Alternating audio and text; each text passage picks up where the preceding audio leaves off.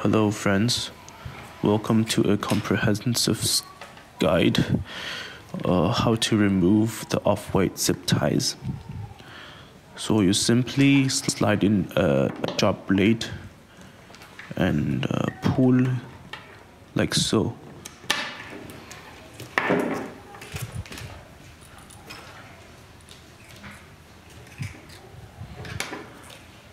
Uh, please leave a like and subscribe. Thanks.